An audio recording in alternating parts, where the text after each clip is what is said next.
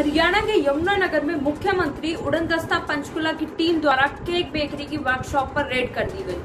उप निरीक्षक दिनेश कुमार, सहायक उप निरीक्षक राजवीर और मुख्यमंत्री उड़न- दस्ता हरियाणा पंचकुला ने जिला निरीक्षक गुप्तचर इकाई, यमुनानगर व इकाई के अन्य कर्मचारियों के साथ मिलकर शाम को श्री राम बेकरी पर रेड कर दी। क्या है पूरी खबर? आइए देखते हैं।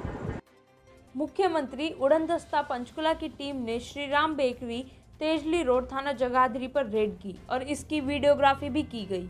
यहाँ पर उप बेकरी के मालिक सुनील कुमार थे।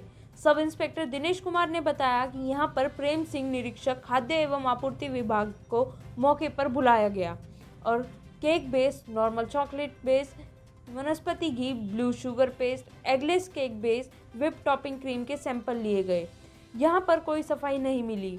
मौजूद खाद्य सामग्री के सैंपल भी लिए गए और रिपोर्ट आने पर आगे की कार्रवाई अमल में लाई जाएगी। मात्रा में और यदि चेकिंग के दौरान काफ़ी अनियमितताएँ पाई जा सकती हैं जिस पर यहाँ पर श्री प्रेम सिंह एफएसओ द्वारा साथ लेकर के और रेड की गई।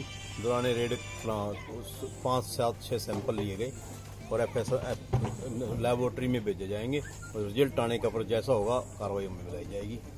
तो सर क्या कुछ कमियाँ भी पाई गई है यहाँ पे सफ़ाई की व्यवस्था ठीक नहीं थी। और कुछ एक दो पाँच पाँच चार चूहे वगैरह भी मोटे मोटे घूम रहे थे इसमें।